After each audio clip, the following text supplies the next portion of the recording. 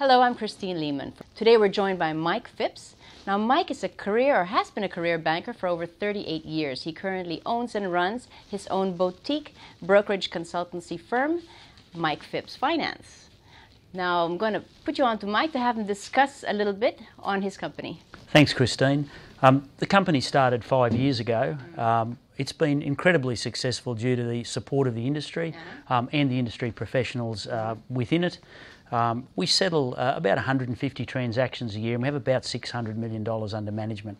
Um, interestingly, and we were talking off camera earlier, um, we don't have one single client who's ever missed a payment. That was staggering. Mike was actually introducing the fact that from all his years of experience, currently he has no customer that has missed one repayment. So the, the reason for that is that we are conservative. Um, we don't encourage people to do things which demonstrably will cause them a problem down the track. Um, and again, that's why we like to deal with industry professionals.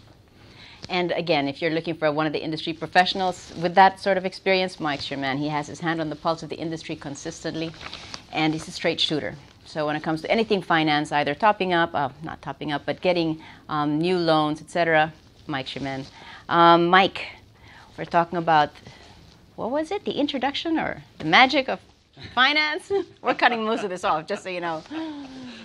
Okay. Yeah, look, the, the, the, black art, I suppose, of, uh, of how to get a great deal from a bank without really trying. okay. Mike, you wanted to talk about the black art of getting a deal through the banks. Now, tell me more about that. Yeah, so the, the, there's never been more competition um, than there is now among the banks for commercial finance. Mm-hmm. Um, that's really uh, because there's not a lot of lending going on, or there hasn't been traditionally in the housing market after the GFC. So the banks are really keen to lend for businesses. Um, what we do is create a competitive environment among the banks to make sure our clients get the very best deal. Okay, that's a big change from a few years ago. Uh, it is. Certainly, uh, when the GFC hit, the banks didn't want to know. Um, what we found interesting was that pretty much the only going concern business that the banks continued to lend bullishly on were management rights. Mm-hmm. Um, and there are some very good reasons for that. Okay, can give us give us a few reasons behind that confidence. Sure. Um, so with with a going concern business, there's risk. Um, and traditionally, there, there's risk um, you know, associated with cash flow, stock, debtors, creditors. Bad debts can be a real issue for, for a business, for a going concern business of any size. Um, management rights simply don't present those credit risks. They're all missing from the business model. Um, the resident manager is the first person to be paid every month. They're paid a salary, um, and they have an exclusive right to operate the business within the building. Um, the banks simply love the business model, particularly in Queensland, but we certainly have clients in all states and territories. Okay, well, listen hard if you're thinking about buying more or buying several. Okay, you've seen the ups and downs of the industry. How do you compare the industry today or the finance industry today with that of 2008?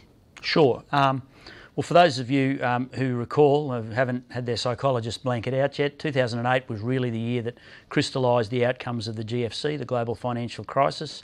Um, so uh, certainly um, assets within all asset classes um, took a bit of a beating after the GFC, and management rights were no different. Multiples fell, um, but people didn't didn't go broke. Um, so they were still making the same money they made when they bought the business. Mm-hmm. Um, all that really happened was that they didn't want to sell quite as quickly because they couldn't get their money back straight away. No different to the housing market. What we're seeing now, uh, certainly in 2013, 2014, is a huge amount of confidence coming back into the market, and multiples are now pretty much where they were pre GFC. So we're, we're pretty much back where we were. Okay, so basically the people who've been holding out for so long, waiting for the multipliers to come up, for their business or industry to get better, you're saying now is the, the opportunity is presenting itself. I think so, um, and, and certainly we're seeing that on both sides of the equation. We're seeing vendors as motivated as they've been for some time to sell, and in fact, lots of them having their numbers prepared right now. But we're also seeing a significant influx of cashed up buyers coming into the market. Um, the traditional buyer base, which is, is, is Australian buyers, um, are now also being bolstered by people from New Zealand. Um, we're seeing a significant increase in the number of people from the United Kingdom buying into the industry, and certainly uh, the Chinese business community has been a significant contributor. Um, the, the feeling of confidence in the market now is as good as I've seen it since I've, I've joined the industry. And that's a long time ago. that's so good to hear. Really good to hear. We've heard that the government is actually cracking down on financial services. How's that going to be affecting interest rates and, and your business right now? Sure.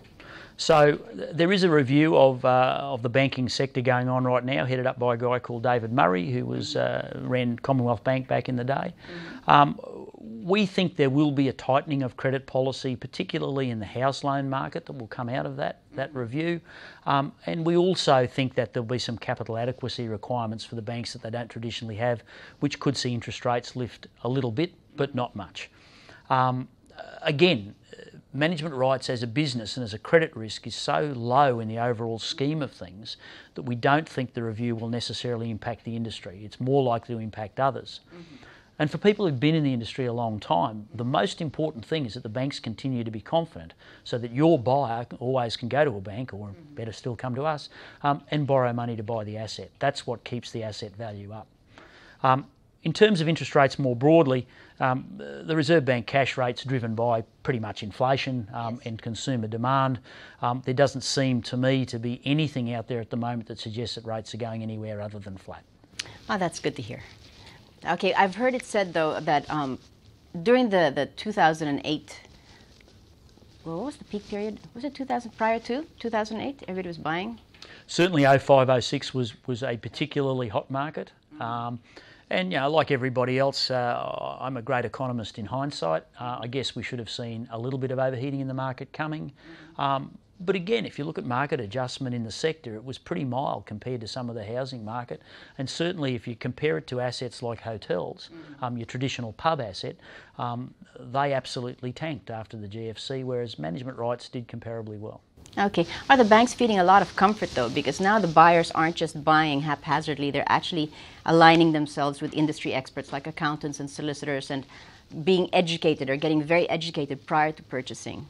Um, certainly, that's the case, Kristine. What what we're observing is that buyers are more or, or better researched um, than they have been in the past. Mm-hmm. Um, the one thing that banks are obviously interested in is whether or not a person who hasn't operated an asset like this before will go. And the more that they surround themselves with industry professionals and mentors, um, the better when we go to talk to a bank on their behalf. Um, but yeah, certainly um, buyers are as educated as they have ever been, in my opinion. Mike, what lessons have we learned coming through the GFC? Um, Kristine, certainly um, before the GFC, the market got got very hot, in my opinion. Um, and I think there was almost um, a lemming like mentality among some buyers where they, they rushed into purchases because everybody else was, uh, a bit like a stock market run. Um, I think certainly uh, the industry has de risked itself uh, from that occurring again purely because of the amount of due diligence that takes place from the lessons that have been learned. It's not a it's not a totally risk free business model. There will always be someone who will make a, a spur of the moment decision and be proved wrong. Mm-hmm. But the reality is, 99% of the transactions are, are, have very stringent due diligence now, um, and people are a little more cautious. Yes, I've experienced all that due diligence and your advice through the whole situation. Mike, how do you feel the valuers are acting now that prices are coming up? Are they starting to support your numbers as well?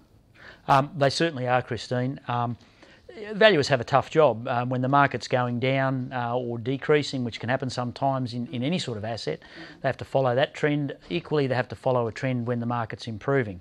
Um, and their job is not to get in front of the trend, but to interpret it. Um, certainly, a year ago, when, when multiples really started to firm up, we saw valuers um, perhaps not supporting that trend. That's changed. Um, valuers are now really supporting the trend. Um, it's interesting to note that probably 50% of the transactions that we do, the banks don't even value the management rights business. Um, they have enough data, and certainly we have enough data to support the transaction price. Um, so it's only the very large transactions that ever, ever even get to valuation. Okay, now on value, a sticking point with us very often, standard modules. Sure. Um, and certainly um, the basis of some of the great urban myths um, yes. that, that float about. Um, standard module buildings are those which are regulated to a maximum of 10 years in the agreements. Um, and certainly there are banks um, who, uh, who want to then write the finance over 10 years, or indeed less. Um, they will discount the term. I mean, those buildings as a result don't stack up for those lenders.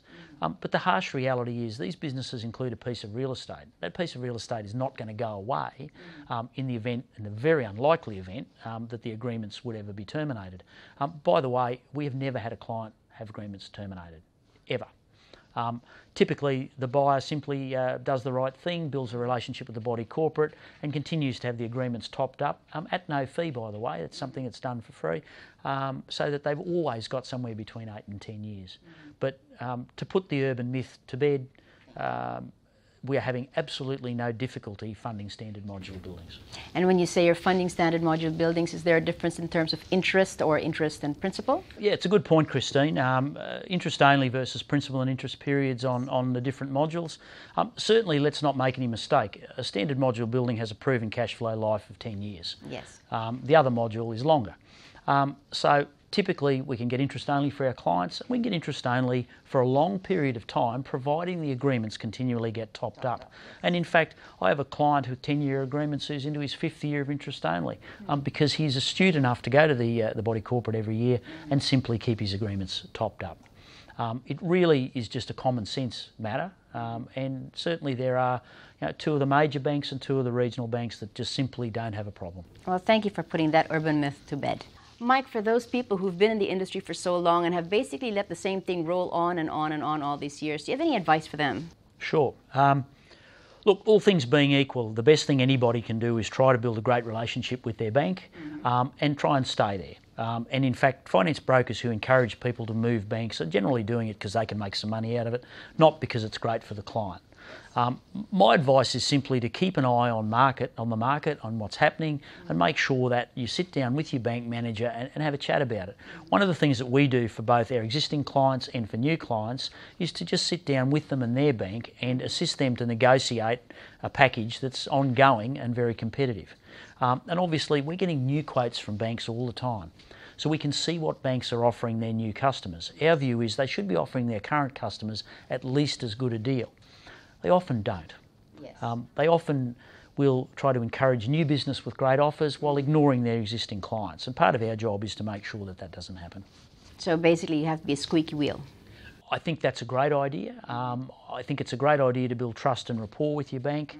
Um, I don't think it's a great idea to move between banks, but certainly if, if for one reason or another um, a lender decides that they want to play hardball with a client, um, we can certainly help them move banks um, at very minimal cost. Okay, so relationships still at the forefront relationships with your banker, with your finance broker. Absolutely. Um, it's, it's an interesting point because um, our clients love us because we don't go anywhere.